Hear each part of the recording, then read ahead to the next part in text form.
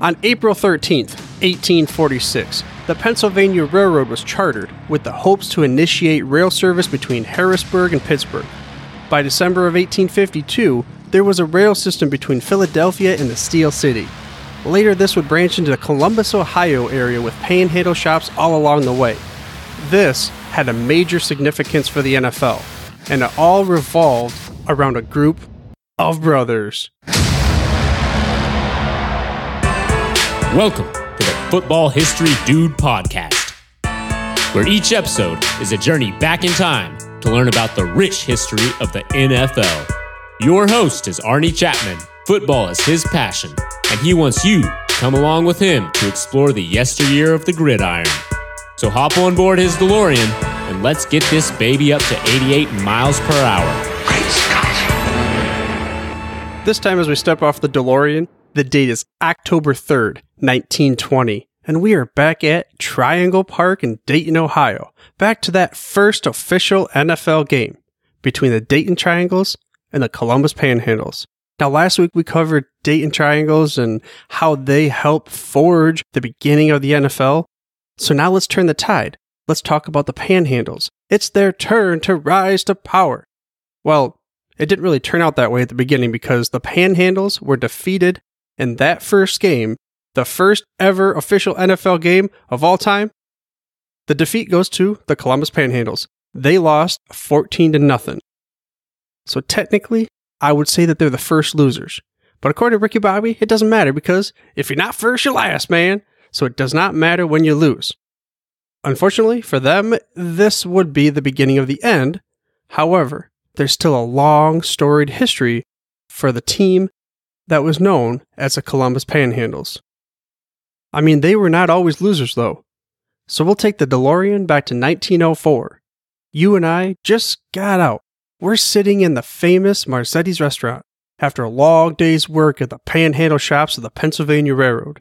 We had to clean off, of course, because I got all that soot and smoke and all these other kind of crap all over us from working hard in the engines. But we are sitting in a fine establishment, something that would become very famous in the future. A local legend, Marzetti's restaurant. We order a salad because in our current timeline, in 2019, we know that this restaurant was shut down, but they still have famous and recognizable salad dressings that are still sold today. I mean, I tell you what, you go to your grocery store, you're probably going to see the Marzetti salad dressings. There's other types of products that they provide, but that's what they're most known for. I grab a Caesar salad because that's my jam. You go with the house salad, but we are just not feeling it. The same thing over and over, working in the Columbus, panhandles, railroad shops, going to eat, hanging out, going to bed. We don't really have anything that's spicing up our lives, giving us something different to do. Then we see a dude over in the corner of the restaurant. His name is Joe Carr. We remember seeing him before when we were in the shops, the panhandle shops, and working on the railroads and such, but we haven't seen him in a while because now he's a sports writer and a promoter. He recently founded a football team, and they're called the Columbus Panhandles. Why, you say? Because they got their name from the panhandle shops. Most of the players on the team were from the railroad shops, the panhandle shops, the pumping engines of America. So we go over and talk to this guy because we want to see what do we got to do to join the team. We want to travel across the nation and play football. And better yet, we want to get paid for it. Now, today, it would be much more difficult to try to work our way into a professional football team. Back then, not so the case. It wasn't like it was just a flip of the coin and you're in, but it was nowhere near the level of competition to get into an NFL team as it is today. Whoop! Hold back. Skirt it back because 1904, there was no NFL, but there were still professional football teams out there. Well, it might not have gone exactly down that way. I'm sure it didn't. Joe Carr didn't just have some sitting in a fancy restaurant, Marzetti's, and people come up to him and say, Can I play in your football team? Because many of the workers probably didn't even go to this fancy restaurant in the middle of downtown Columbus, Ohio. Maybe they did. I don't know.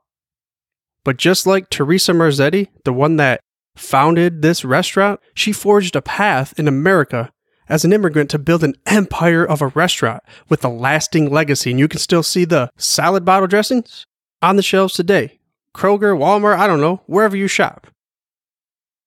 But the same held true for Joseph Francis Carr because he helped build the NFL, but his ticket was not food in the bellies of the patrons. It was putting them in the seats, the bleachers of professional football games, a team that he purchased in 1904. And according to the Sports Cyclopedia, the Columbus Panhandles were founded in 1901 as a club. Primarily, they were made up of Pennsylvania Railroad workers on the Panhandle section, you know, like I said, thus named the Columbus Panhandles. Now, Chris Willis of NFL Films has a book about the history of the Columbus Panhandles, including another book about Joe Carr. And I'll go ahead and leave a link to those books for you and some of his other books in the show notes, which, by the way, you can get to the show notes to your podcast player choice or by heading to thefootballhistorydude.com. Again, that's thefootballhistorydude.com. Also, while you're at it, I ask that you please subscribe for free to the show by mashing that little subscribe button in your podcast player choice. That way you get the hottest, freshest out the press episodes, well, each and every week. But getting back down to the nitty gritty of the Columbus Panhandles. At the beginning, this team was pretty successful. They were known as the toughest football team in the land, or some shape or form or another. But think about it. You're a group made up of a bunch of panhandle workers. I mean, these are some tough, gritty kind of individuals. And then for fun, they want to run around and take each other's heads off. So that's a group I don't think that we want to mess with. And speaking of a group you don't want to mess with, there's a group of brothers that I alluded to at the beginning of the episode. They are, they were the famous Nesser brothers. The Nesser brothers, what's that? Like Nestle Crunch? No. They may not have been Nestle Crunch, as in the candy bar, but they Nestle be crunching you backside up all over the gridiron because you are not getting out of there. So these six brothers played on the same team. They played on the same professional football team together, the Columbus Panhandles. Talked about these in different episodes, especially the Joe Carr episode. But the six brothers on the same team. I mean, think about that. That's crazy. I mean, six brothers alone, that's a pretty big family. But then for all of them to be athletic enough and to be able to be within an age gap to play on the same professional football team, totally different world, different era, different generation. And I get the descriptions of all these famous Nesser brothers from one of Chris Willis's books. It's called The Man Who Built the National Football League, Joe F. Carr. And here's a quote from his book to kind of give you an idea of the improbability of these six brothers coming together to play on one professional football team, and it goes as such. Grandpa Nesser was about five feet seven, and Grandma was just over five feet tall. Who would have thought that these two German immigrants would raise six big, tall, talented, tough football players? Now that comes from Irene Cassidy, the niece of the Nesser brothers. So here we go. Let's get into quick little brief description of all of the Nesser brothers basically the ones that built the Columbus Panhandles. Well, I mean, they didn't build it, but they were the foundation. Without the Nesser brothers, the Columbus Panhandles would never have been as popular of an attraction, and they would not have had the amount of success that they did. The first one is John Nesser. He stood 5 feet 11 inches and 195 pounds. He mostly played the quarterback, so pretty much kind of like the leader, but not today's quarterback. Don't think about, you know, dropping back in the pocket, perusing the line, looking over where the receivers are throwing, and I'm going to toss that ball over that guy over there, number 81. That was not the case. Not 1904, not the early 1900s, not even your grandpa's grandpa's NFL. This was a different type of game. It would be easy to see the quarterback out there running the ball, blocking, I mean, not even getting the ball, most of the time, not even passing. And he was considered possibly the best overall athlete of the Nesser brothers. He won a medal for all around athlete of the Pennsylvania Railway System, and his nickname was the Wolf. He played 18 years until age 41. Age 41, back when football was tougher, really no pads, no helmets. Again, both ways, different type of game. His other brother, well, I guess the first brother we talk about that was not named John is Phil. Phil Nesser stood 6 feet, 225 pounds, mostly a tackle. Now, think about this though back then, the size of the players was not nearly as large. So all of these players are considered pretty big. I mean, he was a bigger dude compared to his brothers, at least many of his brothers, and he would also play for 18 seasons. He only had four touchdowns though, because most of the time he's a lineman. But basically, that means that he was possibly the most underrated player because he didn't really get all the flashiness. But they said that he just would bulldoze the way, and on defense, he just, you, that's tough dude. Don't want to go up against him. The next brother was Frank Nesser, six feet one inches and 245 pounds. He played, well, I say only, but that's just because his other brothers, only 15 seasons, mostly at fullback. And in Willis's book, he said that he carried his weight with the grace of a ballet dancer. I mean, supposedly he was one of the best punters to ever live. 70 yard punts were on the ridge. Jim Thorpe couldn't even keep up with him. We talked before about how Jim Thorpe was just a massively gifted, talented individual. And we think about running the ball, but then there's tackling. Jim Thorpe was able to punt the ball with the best of them. But he could not keep up with Frank Nesser. The next guy was the biggest of them. Fred Nesser stood six foot five, 250 pounds. Only 14 seasons, mostly at tackle and end, of course, because that's a big dude compared to uh, back then in the early 1900s. But the thing that he actually was most known for was he was an accomplished boxer. In fact, he was a serious contender for Jess Willard's heavyweight crown before a wrist injury just kind of took him out of contention. And according to the Columbus newspaper, Fred revealed that his highest salary earned, from gate receipts that is, was in a season where he got $950. A whole season, think about that a whole season, $950. Now, of course, the inflation rate and everything, but still, nowhere's near where it is today. But money wasn't the issue for this guy, nor was it for the other brothers. They loved what they did. They loved to play football. And they actually, think about this, they got to play football with their other brothers on the same team. I mean, that's pretty cool. And the next brother's name was Al Nesser. He stood 6 feet and 195 pounds, the youngest of the brothers, he played guard for eight seasons with the Panhandles. Because he was the youngest, though, he had the best NFL career. He played for a total of four teams. Two of those teams, he was on the championship in the NFL season because he, like I said, was the youngest and got to have a longer career when the NFL was alive. So in 1920, he was on the championship team, the Akron Pros. He also in 1927 was on the Giants championship team. So he had the opportunity to be on two NFL championship teams within the first seven seasons. Not too shabby, if you ask me.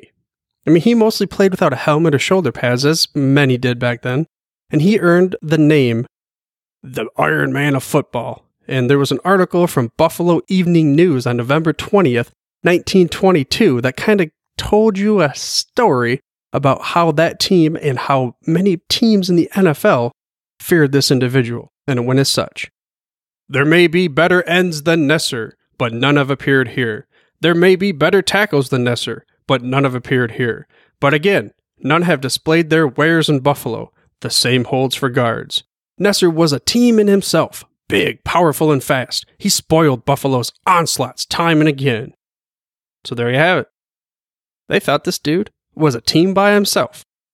And then the final Nesser brother was Ted Nesser. He stood 5 feet 10 inches and 230 pounds. Even though Al was considered the best in the NFL, Ted was actually considered the greatest of the Nesser brothers, playing 17 seasons, but a lot of that wasn't with the NFL because of the age difference. He played all the positions at one point. He was great at all of them, but he was the best at the halfback. He was known for his breaking tackle ability, just this crazy, you know, bouncing off of guys. I'm thinking Marshawn Lynch nowadays. Wait a second, not nowadays because the dude just retired. Come on, beast mode. But he has that vision and he had that power and that balance. I guess what I'm thinking is Alvin Kamara. Like almost the same size, I guess, because I mean, Kamara is not quite 230 pounds probably, but he just, it's insane how that dude just gets hit and it takes multiple people to bring him down, even though he looks smaller on the field than everybody else. I have a vision that that's what Ted Nesser was like. And there was an article from the Ohio State Journal on December 7th, 1917, from uh, a Mr. Jim Thorpe. Yes, the great one. Jim Thorpe quoted as such Ted was one of the greatest players of the pro game, and he was also known for being a bruiser. I mean, his daughter Babe Sherman had another quote that went as such My dad had his nose broken at least eight times. Dr. Turner, the family doctor in Columbus, said there's no use to set it. I'm not going to set it anymore because you'll just break it again. After that, my dad would say he had a Knute Rockne's nose. Another thing about Ted Nesser was that he coached the team for 13 years, directing the practice, calling most of the plays, and overall just being the vocal leader of the team. I mean, a team. Six brothers. Same team. NFL 100 site states that the six brothers turned the panhandles into a major attraction with sellout crowds nearly everywhere they went. I mean, it's just a bunch of brothers having fun. Free trips on the railroad, probably going across the country as a family and getting paid to do it. I mean, not bad. They didn't get paid a lot, but they were doing something they loved. You don't, you're not going to see that anymore that it's just not going to happen in professional sports unless it's a professional sport that's coming up. You know, I guess ground roots, like esports maybe comes to mind, something like that. You're just not going to have that many brothers on the same team, let alone even in the same league at the same time. But at the man at the heart of all of it, going back, was Joe Carr. We covered him more in detail. I mean, I'm talking about way back in episode four. So you go ahead and listen to that one if you want to learn a little bit more about Mr. Joseph Francis Carr. I mean, the Nesser brothers were a great story and one of the coolest stories you'll ever hear about the NFL and professional football. That many players from the same family playing on the same team at the same time. But Joe Carr still was the one that left the biggest impact on the league, often referred to as the father of professional football. He was the president for the NFL for 19 seasons from 1921 to 1939, and at the inaugural meeting of the NFL, yes, that one that we keep talking about. Let's go ahead and say it. September 17th, 1920, the founding of the NFL, the birth of the NFL. And he was a founding father. Go ahead and put his face up on the founding fathers, Mount Rushmore, Mount NFL, back in Ohio. They ain't got no mountains. We'll figure it a way. We'll put it somewhere on the streets because he should definitely be remembered. And he was remembered. 1963, Canton, Ohio. He was part of the inaugural 1963 Hall of Fame class for everything that he did for the league. But his biggest contributions were rigid enforcement of the rules, introduced standard players contract, and barred the use of collegiate players in the NFL. That comes straight from the Professional Football Hall of Fame website's bio on Joe Carr. But maybe one of the most infamous yet pivotal moments for what we now know is what happened in the NFL was under Joe Carr's watch. He was the one that actually kicked out the Green Bay Packers from the league for illegal use of players, college players that is, back in 1921. He also would allow them back under new ownership.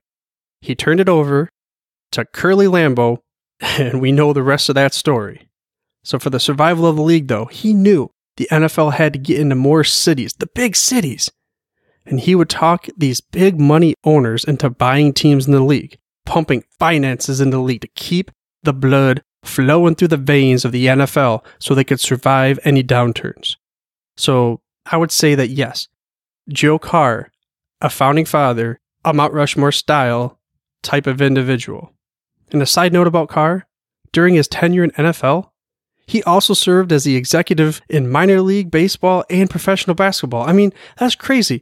You're leading as the president of the NFL, this newly founded league, and you're also an executive in minor league baseball team and also professional basketball league. I mean, come on, man. That is just stone cold crazy. But if you want to hear another crazy story about the Columbus Panhandles, who Joe Carr was involved with, the owner, the founder, well, in 1922, the team was disbanded because they had problems with cost and salary demands. But the year before, Ted Nesser and his son made history. Ted's son, Charlie, he joined the team in 1921. This was the only time a father and son played on the same team in NFL history. I hope you enjoyed this week's episode of the Football History Dude podcast and were able to gain some gridiron knowledge nuggets about one of the original 14 teams of the NFL. If you like the show, I ask that you please share it with another football geek such as yourself by sending them to thefootballhistorydude.com. Now, next week, we get to dive into another original NFL team. But for now, dudes, I'm through if you're through. Thank you for listening to this episode of the Football History Dude. Make sure you're the first to get the next episode, please subscribe on your podcast player of choice and head on over to thefootballhistorydude.com for the show notes and more information on the history of the NFL. And remember, dudes, where we're going, We don't need roads.